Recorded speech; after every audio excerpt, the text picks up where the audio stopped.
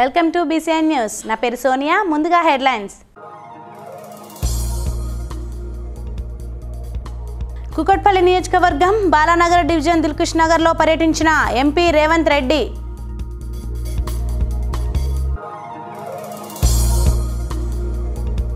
కుకట్పల్లి నియోజకవర్గం Alvin colony డివిజన్లో జరిగిన రోడ్ షోలో పాల్గొన్న ఎంపీ ధర్మపురి అరవింద్.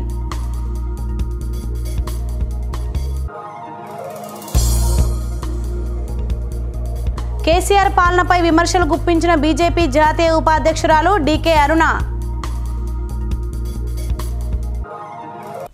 ఇక వివరాల్లోకి వెళ్తే కూకట్పల్లి నియోజకవర్గం నూట ఇరవై నూట ఇరవై బాలనగర్ డివిజన్లోని దిల్కుష్ నగర్లో ఎన్నో సంవత్సరాల నుంచి రోడ్డు సమస్య ఉందని స్థానిక ఎమ్మెల్యే దృష్టికి ఎన్నిసార్లు తీసుకెళ్ళినా పట్టించుకోవడం లేదని మల్కాజ్గిరి పార్లమెంట్ ఎంపీ రేవంత్ రెడ్డి దృష్టికి తీసుకెళ్ళగా బుధవారం రేవంత్ రెడ్డి దిల్కుష్ నగర్ వచ్చి అక్కడ నివసిస్తున్న ప్రజలను కాంగ్రెస్ పార్టీ కార్పొరేటర్ అభ్యర్థి సత్యం శ్రీరంగంను అడిగి తెలుసుకున్నారు.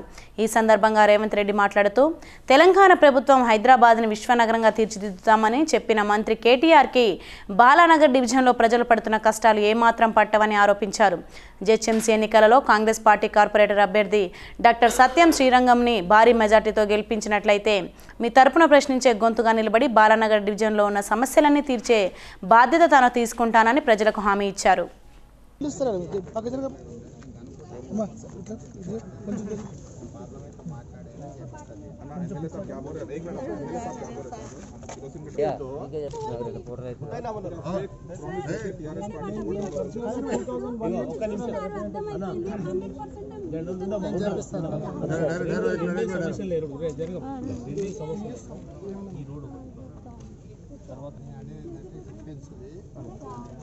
సరే దిలీప్ గారికి రోడ్డు కావాలని చెప్పి అనుకున్నాం. ఇది రేవంత్ రెడ్డి గారితో సాధ్యమని చెప్పి మేము అనుకున్నాం. రేవంత్ రెడ్డి గారు ఈరోజు విజిట్ చేశారు. ఇక స్థానిక ఎమ్మెల్యే కార్పొరేటర్ అన్ని అబద్ధాలు చెప్పి దొంగ మాటలు చెప్పి రెండు సార్లు కొబ్బరికాయ కొట్టి పోలీసు చేత అబద్ధాలు చెప్పి దొంగ దొంగ లెటర్లు తీసుకొచ్చి చూపించే వాళ్ళం చూపించారు బస్తీ వాసులు. ఇక్కడ మనకి ఏంటంటే సమస్య పరిష్కారం కావాలి. సమస్య ఉండదు. ఇక్కడ లేడీస్ ఇప్పుడు ఉన్నారు. మనం తిరుగుతూ వస్తున్నాం కదా. దాదాపు కిలోమీటర్ వాళ్ళ లేడీస్ చీకట్లు నడుచుకుంటూ వస్తున్నారు అంత దొంగలు ఉన్నారు. రాత్రి కూడా చైన్ స్నాచ్ అవుతుంది వాళ్ళ ఆడపిల్లలు ఈ పక్క పాలనగర్ పోలీస్ స్టేషన్ ఈ పక్క బోయినపల్లి పోలీస్ స్టేషన్. వాళ్ళు తెలివి ఉందా గాడిదలే లేదా? ఏమన్నా అసలు ప్రభుత్వ అధికారులని ఇది ఈ పోలీస్ దీన్ని తీసుకెళ్ళి మాకు బాలనగర్ పోలీస్ స్టేషన్ కలిపితే మంచిగా ఉంటుంది అన్న మేము ఒకటి ఇక్కడ నేను కాంగ్రెస్ పార్టీ అభ్యర్థిగా పోటీ చేస్తున్నా. సత్యం చీర దండం పెట్టి గెలిపించినారు వాళ్ళకి. మీకోసం పోరాటం చేస్తాం. మేము గెలిచినాక ఈ రోడ్డు తెచ్చేదాకా రేవంత్ అన్న పార్లమెంట్ ఇప్పుడు వీళ్ళకి చెప్పాడు రేవంత్ అన్న కూడా. వేరే వాళ్ళకి అమ్ముకుంటూ ఒక రెండు ఎకరాల భూమి ఇస్తే రోడ్డు అయిపోద్ది. ఇంతమంది బ్రహ్మాండం కూడా అక్కడి నుంచి ఇక్కడ పదిహేను ఎకరాల భూమి. ఏదైనా అన్న పది ఎకరాలైనా పదిహేను ఎకరాలు ఇరవై ఎకరాలైనా ప్రభుత్వ భూమి మీద ఇచ్చేది. వాడు అయ్యే జాగ్రత్త కంపెనీ లేదు ఇక్కడ. కంపెనీ మూసేశారు. ఏడు వందల ఎకరాల భూమి మీద కబ్జా చేస్తున్నారు. ఒక పక్క అమ్ముకుంటున్నారు. ఇప్పుడు మీ మంత్రి శ్రీనివాస్ గౌడ్ వస్తంతో అటుపక్క ఇరవై ఎకరాలు అమ్మారు. ఇటు పక్క ఈ పది ఎకరాలు వీళ్ళకి ఇచ్చినట్టు వీళ్ళంతా బాగుపడతారు కదా. వీళ్ళకి రోడ్డు కావాలి కదా. అది కనీస సౌకర్యం అన్న. రోడ్డు అనేది కనీస సౌకర్యం. మౌలిక వసతితో మొదటి పెట్టు రోడ్డు. అన్న ఒక్కటే డిమాండ్ చేస్తున్నాం. టీఆర్ఎస్ ప్రభుత్వాన్ని మీకు చేత కాదు. ఈరోజు మా ఎంపీ రేవంత్ రెడ్డి గారు వచ్చారు. మాకు దమ్ముంది మేము చేయగలుగుతాం. కాంగ్రెస్ పార్టీకి ఉంది. ఇంత ముందు కూడా వీళ్ళంతగా డెవలప్మెంట్ చేసినా కాంగ్రెస్ పార్టీ ద్వారా జరిగింది. మళ్ళీ చెప్తున్నా అన్న మీరు ఒక్కసారి మాకు అభిమానంతో ఓటేయండి. మమ్మల్ని నమ్మండి. కాంగ్రెస్ పార్టీని గెలిపించండి. మీ తమ్ముళ్ళలాగా మీ సోదరులాగా మీతో ఉంటా మీతో పోరాటం చేస్తా. ఈ రోడ్డు తెచ్చేదాకా నిద్రపోం ఈ రోడ్డు సాధిస్తాం రోడ్డు తెస్తాము ఈ బస్తీవాస సమస్య తీరుస్తామని తెలియజేస్తున్నాము. జిహెచ్ఎంసీ ఎన్నికల ప్రచారంలో భాగంగా నూట ఇరవై నాలుగవ డివిజన్ అల్విన్ కాలనీలో బీజేపీ కార్పొరేటర్ అభ్యర్థి సురభి రవీందర్ రావు నిజామాబాద్ ఎంపీ ధర్మపురి అరవింద్ మాజీ ఎమ్మెల్యే భిక్షపతి యాదవ్తో కలిసి అల్విన్ కాలనీ డివిజన్లో రోడ్ షో నిర్వహించారు. ఈ సందర్భంగా అరవింద్ మాట్లాడుతూ పేదలకు డబుల్ బెడ్రూమ్ ఇల్లు హామీని టీఆర్ఎస్ పార్టీ నెరవేర్చలేదని అన్నారు. మంచినీటి బిల్లులు మాఫీ అయితే నీటి మీటర్లను ఎందుకు ఏర్పాటు చేస్తున్నారని ప్రభుత్వాన్ని ప్రశ్నించారు. అభివృద్ధి కోసం బీజేపీకి ఓటు వేసి గెలిపించాలని కోరారు. ఎందుకు పదివేల రూపాయలు? ఎలక్షన్ మార్చిలో ఉండే మార్చిలో నాలుగు నెలలు ఇవాళ నవంబర్లో ఎవడు ఎలక్షన్. ఏ పార్టీ పెట్టింది ఎలక్షన్ నవంబర్ లా టిఆర్ఎస్ పార్టీ పెట్టింది. ఏ పార్టీ పెట్టింది? ఎవరు పెట్టిండు మరి ఇలా మోసం చేసింది పదివేలు ఇవ్వకుండా ప్రజలకు మోసం చేస్తున్నది ఎవరు? మరి ఏ అన్ని రకాలుగా మోసమే. మొన్న కరోనా రాలేదా ఈ ప్రాంతంలో? వచ్చిందా? భారతీనగర్ డివిజన్లో భారీ ర్యాలీని చూస్తుంటే గోదావరి అంజిరెడ్డి గెలుపు ఖాయమని బీజేపీ జాతీయ ఉపాధ్యక్షురాలు డీకే అరుణ అన్నారు. కేసీఆర్ కల్వకుంట్ల కుటుంబం వాళ్ళ అనుచరులు హైదరాబాద్ను దోచుకుంటున్నారని హైదరాబాద్ని రక్షించుకోవాలంటే బీజేపీని గెలిపించుకోవాలన్నారు. హైదరాబాద్లో రోడ్ల పరిస్థితి చాలా దారుణంగా ఉందని అభివృద్ధి జరిగింది అంటే కేసీఆర్ కేటీఆర్ హరీష్ నియోజకవర్గాలు మాత్రమే భారతీనగర్ డివిజన్ అభివృద్ధి అయిందా? వరద నీటి బాధితులను ఆదుకున్నారా అని ప్రశ్నించారు. బీజేపీ అభ్యర్థి గోదావరి అంజిరెడ్డిని అత్యధిక మెజార్టీతో గెలిపించాలని కోరారు. సిద్ధాంత్ ఎవరో నాకు తెలియదు ఆదర్శంగా కార్పొరేటర్ అనుకుంటున్నామని చెప్పి చాలా మంది అడగడం జరిగింది. ఒకవేళ మీరు నిజంగా ఆశ్- ఆశీర్వదించి గెలిపిస్తే పోరాడదాం. డ్రైనేజీస్ వ్యవస్థ బాగా చేసుకుందాం. రోడ్లు వేయించుకుందాం. అదే కాకుండా మ్యాథ్ సొసైటీ ప్రజలు మ్యాథ్స్ సొసైటీలో ఉన్న గోదావరి ఎందుకంటే లాస్ట్ టైమే చాలా నేరోగా ఓడిపోయింది నూట అరవై ఓట్లతో ఓడిపోయింది. మరి మీరు గెలిపించినామనేమో ఇంతకుముందు అందరు చెప్తున్నారు. ఇలా ఉన్న సొసైటీ స్థలాలన్నీ కాల్ చేసిండ్రు ఏం మిగిల్చకుండా అని.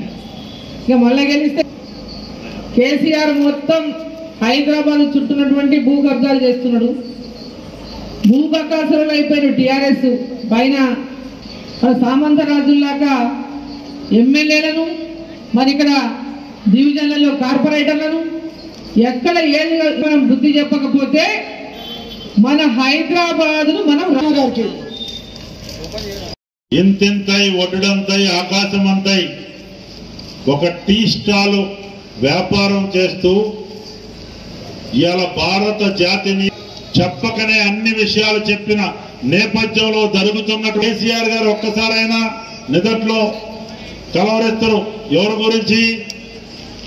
మన తెలంగాణ జై ఒక బెబ్బులిగా రెసిడెంట్గా మీ ముందుకు వచ్చిన ముఖ్య అతిథిగా వచ్చిన అరుణమ్మ గారు.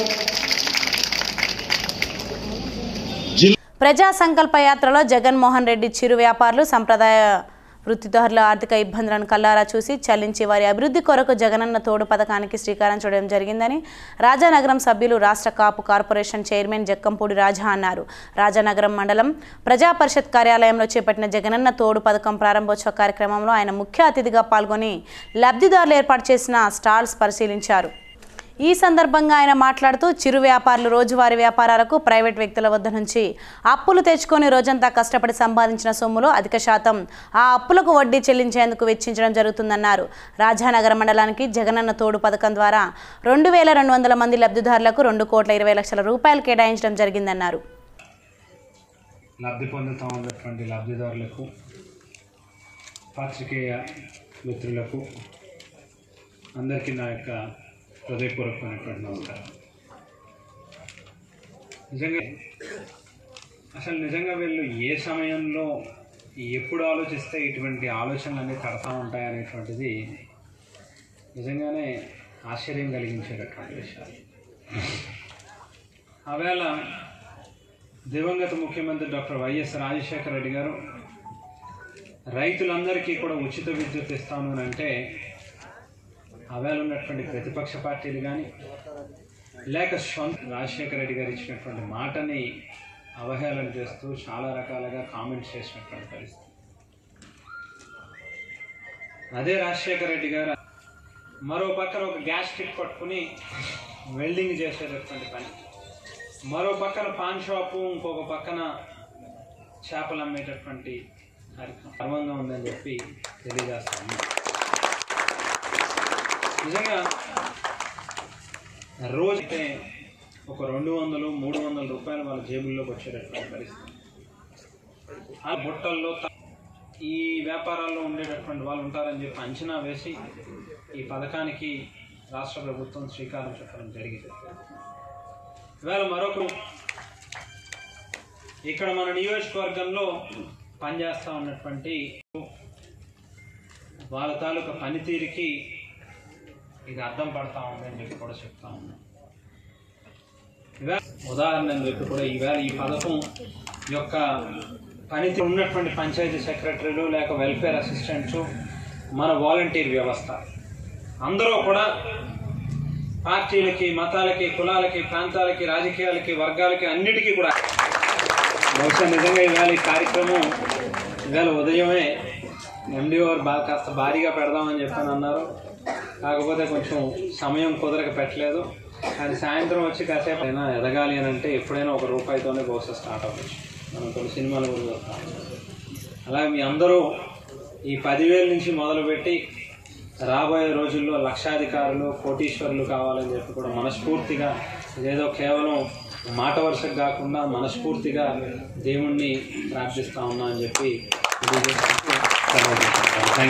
కృష్ణా జిల్లా Nandigama sub divisional police officer G Nageswar Reddy మాట్లాడుతూ Nandigama inspector of police P Kanakarao SI SI Tatacharyulu సిబ్బందితో కలిసి వాహనాల తనిఖీ నిర్వహిస్తుండగా లారీలో తరలిస్తున్న సుమారు తొంభై ఆరు వేల రూపాయల విలువ గల బియ్యంను సీజ్ చేసి ముగ్గురు వ్యక్తులను అదుపులోకి తీసుకొని అరెస్ట్ చేయడం జరిగింది అని తెలిపారు. స్వాధీనం చేసుకోవడం జరిగింది. సో దాన్ని కేసు నమోదు చేసి యథావిధిగా ఆ బియ్యాన్ని మన డిప్యూటీ తహసీల్దార్ గారికి అప్పగించడం జరుగుతుంది. ఈ సందర్భంగా చెప్పేది ఏమంటే ఈ ఇల్లీగల్ యాక్టివిటీస్ చేసే దాని మీద ఖచ్చితమైన యాక్షన్ ఉంటుంది. సో ఎవరైనా కూడా సమాచారం పోలీస్కి ఇస్తే కూడా అది కాన్ఫిడెన్షియల్గా మెయింటైన్ చేయబడుతుంది. ఇది- ఇది నాట్ ఓన్లీ రైస్ శాండ్ కానీ అదేవిధంగా ఈ లిక్కర్ కానీ వీటి మీద ఖచ్చితంగా యాక్షన్ ఉంటుందని చెప్పి కాబట్టి ఇన్ఫర్మేషన్ మీరు ఎప్పటికప్పుడు పోలీస్కి ఇస్తే వీటిని మనం ముక్కు పచ్చలారని ఐదు సంవత్సరాల బాలికపై అత్యాచారంకు పాల్పడిన మానవ మృగాన్ని బహిరంగంగా ఉరితీయాలని రిపబ్లికన్ పార్టీ ఆఫ్ ఇండియా రాష్ట్ర ప్రధాన కార్యదర్శి పిట్ట వరప్రసాద్ ప్రభుత్వాన్ని డిమాండ్ చేశారు. బుధవారం ఉదయం కాకినాడ ప్రభుత్వ సామాన్య ఆసుపత్రిలో చికిత్స పొందుతున్న కాకినాడ గోలీలపేట దండోర నగర్కు చెందిన ఐదు సంవత్సరాల బాలికను బహుజన నేత ఏనుగుపల్లి కృష్ణతో కలిసి పరామర్శించారు. మాట్లాడుతారా? నొక్కమంటారా? నొక్కిసారా? నొక్కిసారా? ఓకే. మనం కాకినాడ ప్రభుత్వ సామాన్య ఆసుపత్రి పేరును ఈ కాకినాడ పట్టణంలో సరే ఇది చాలా దారుణమైన విషయం.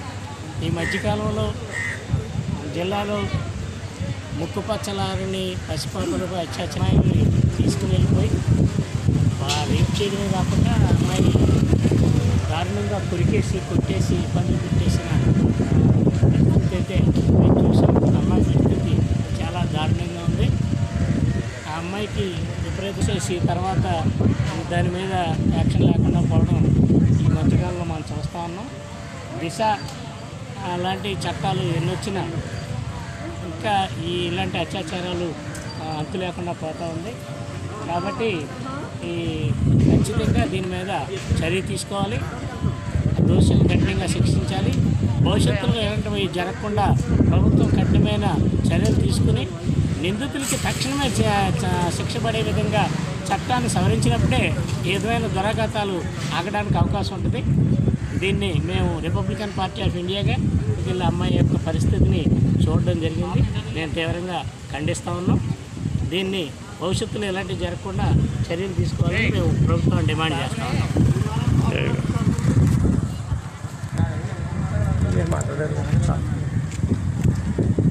మరి ఈరోజు చాలా దురదృష్టకరమైన సంఘటన. మరి గోలీలపేట దండోరా నగర్లో మరి ఐదేళ్ళ బాలికపై మరి ఒక దుర్మార్గుడు ఐసీకే రాగత్యం చేశాడు. చెప్పడానికి కూడా చాలా చిగ్గుగా ఉంది. ఏదేమైనప్పటికీ మరి నిర్భయ చట్టాలు కానీ ఇతరత్ర చట్టాలు ఏమొచ్చినా కూడా మరి ఇటువంటి దుర్మార్గులకి సరైన శిక్షలు పడక వారి యొక్క పోవడం జరుగుతుంది.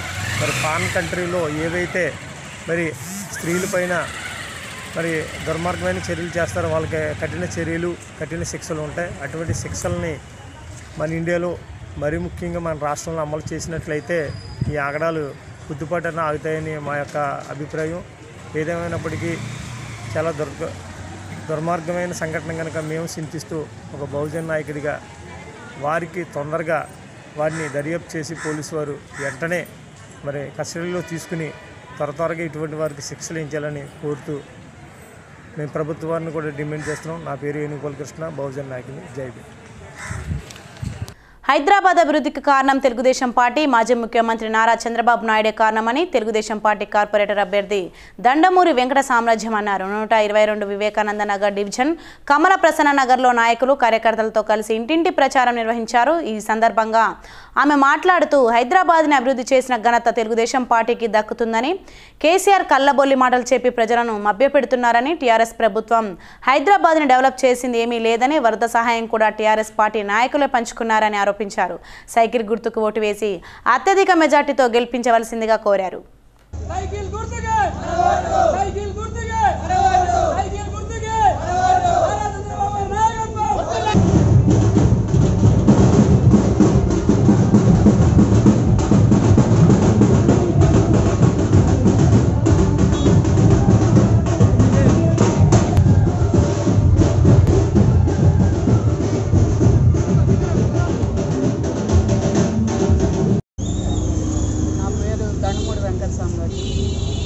పేరు దండమూడి శోభనాథర్ గారు.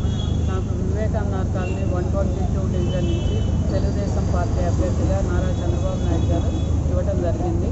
నేను అలాగే ఆయన ఆదేశానుసారం నిలబడ్డాను.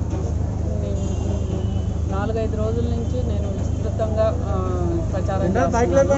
అటు ఓగ్రానగర్ కానీ అలాగే వడ్డేపల్లి ఎన్క్లేవ్ కానీ కమలా ప్రసన్న నగర్లో ఈరోజు చేస్తున్నాము. చాలా రెస్పాన్స్ ఉంది ఇక్కడ. ఎందుకంటే ఇదివరకు చేసిన కార్పొరేటర్ అంత తిరగటం కానీ చేయటం కానీ ఎక్కువ పనులు చేయలేదని చెప్పి అందరూ కంప్లైంట్ చేస్తున్నారు. మీరు ఓట్లు అడిగేటప్పుడు కానీ తర్వాత రావట్లేదు అని అన్నారు ఇదివరకు చేసిన వాళ్ళు. మేము అలా కాదు. మేము తప్పకుండా తెలుగుదేశం పార్టీ అంటే ఒక క్రమశిక్షణ గల పార్టీ. మేము తప్పకుండా గెలుస్తామని ఆశిస్తున్నాము. ఈ ప్రజలందరూ మా పక్కనే ఉన్నారు. ఇలా ఆడపడుచులందరూ నన్ను తోటి ఆడపడుచుగా గుర్తించి అందరూ చాలా అభినందిస్తున్నారు. తెలుగుదేశం పార్టీ లేదు లేదు అని అన్నారు. ఆ పాట వింటేనే మాకు ఉత్సాహం వస్తుంది మేడం. చాలా ఆనందంగా ఉంది. మీరు నిలబడినందుకని చెబుతున్నారు. వివేకానంద డివిజన్ ప్రజలందరికీ చేతులెత్తి నమస్కరిస్తున్నాను. మీ అందరూ కంపల్సరీ ఓటుకు వచ్చి తెలుగుదేశం పార్టీ సైకిల్ గుర్తుకి ఓటు వేస్తారని ప్రార్థిస్తున్నాను. జయశంకర్ భూపాలపల్లి జిల్లా మహాదేవ్పూర్ మండలం పవిత్ర పుణ్యక్షేత్రం కాళేశ్వరంలో గోదావరి మాతకు కార్తీక మాసం ఏకాదశిని పురస్కరించుకొని ఆలయ అర్చకులు అధికారులు పంచరత్న హారతి కార్యక్రమాన్ని ప్రారంభించారు. బుధవారం సాయంత్రం మంగళ హారతులతో శ్రీ కాళేశ్వర ముక్తీశ్వర స్వామి ప్రధాన ఆలయం నుండి కాలినడకన వెళ్ళి గోదావరి మాతకు పూలు పండ్లు సారేను సమర్పించి ప్రత్యేక పూజ నిర్వహించారు. ఈ కార్యక్రమంలో ఆలయ అర్చకులు భక్తులు సిబ్బంది పాల్గొన్నారు.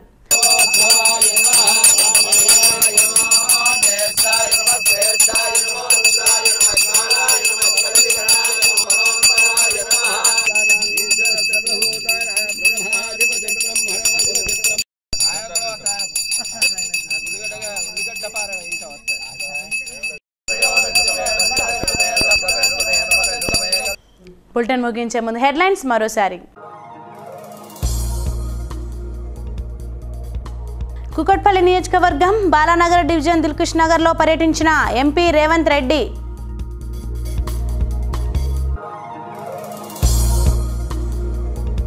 కుకట్పల్లి నియోజకవర్గం అల్విన్ కాలనీ డివిజన్లో జరిగిన రోడ్ షోలో పాల్గొన్న ఎంపీ ధర్మపురి అరవింద్.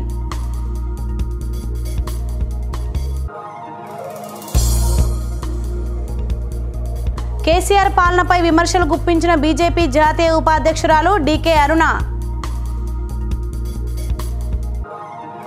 ఇవి ఇప్పటివరకు ఉన్న అప్డేట్స్. మరిన్ని అప్డేట్స్ కోసం చూస్తూనే ఉండండి బీసీఐ న్యూస్.